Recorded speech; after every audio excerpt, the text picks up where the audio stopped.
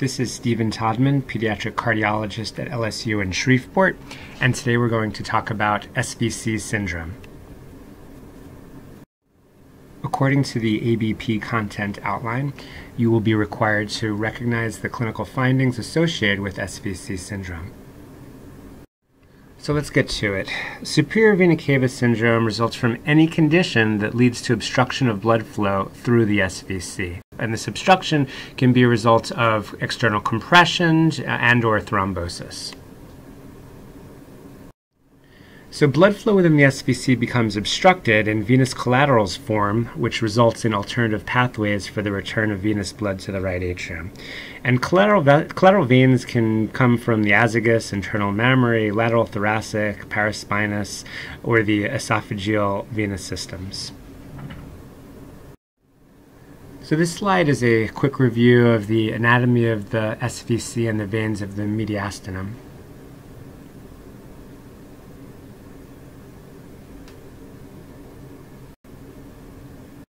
These venous collaterals can dilate over several weeks, and even when well developed collateral drainage patterns are present, the CVP remains elevated, producing the characteristic signs and symptoms of SVC syndrome.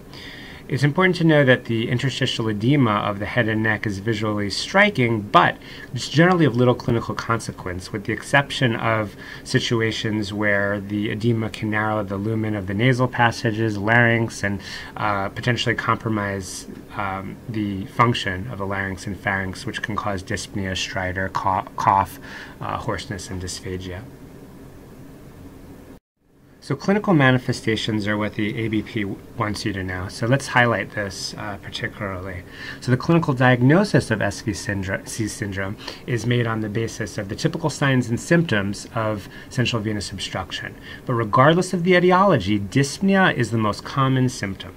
In addition, patients frequently complain of facial swelling or head fullness, and this may be exacerbated by bending forward or lying down. Other symptoms that you can see are arm swelling, cough, chest pain, or dysphagia. Uh, and patients with uh, cerebral edema can have headaches, confusion, or possibly coma.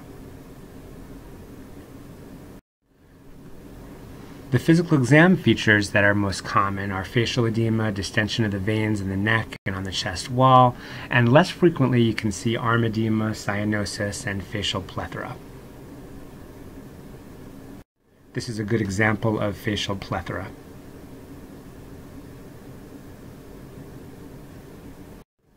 This image highlights the enlarged veins over the anterior chest wall that are seen in this particular patient who's a 65 year old smoker. Treatment is ultimately aimed at the underlying cause of the SVC syndrome. So here's a clinical question. All of the following are true of SVC syndrome except A. Tinnitus is the most common symptom. B. Patients frequently complain of facial swelling or head fullness, which may be exacerbated by bending forward or lying down. C. Other symptoms include arm swelling, cough, chest pain, or dysphagia. And D. The most common physical exam findings are facial edema and distension of the veins in the neck and on the chest wall. I'll give you a moment to select your answer.